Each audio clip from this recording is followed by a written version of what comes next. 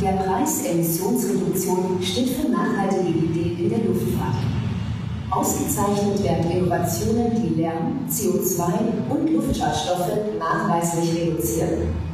Die Finalisten sind Deal Aviation. Skypex von Deal Aviation ist eine Einheit aus Galley und Lavatory. Die Kabinen können unkompliziert zu einer barrierefreien Lösung umgebaut werden. Kombiniert mit einer platzsparenden, Raum für bis zu zwölf weitere Sitzplätze und ist um 60 Kilo leichter als Konkurrenzentwicklungen. Das bedeutet weniger Emissionsausschuss, wovon Umwelt, Passagiere und Airline profitieren.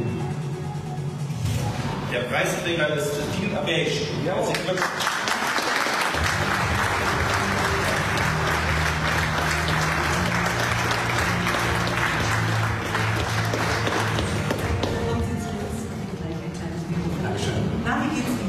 Gut geht's. Ja, freut man sich in so einem Moment. Sehr, ja. Sehr. Ja. Immerhin stehe ich nur stellvertretend für die ganzen Mitarbeiter, die an so einem großen Objekt gearbeitet haben. Vielen herzlichen Dank dafür. Wie viele waren beteiligt?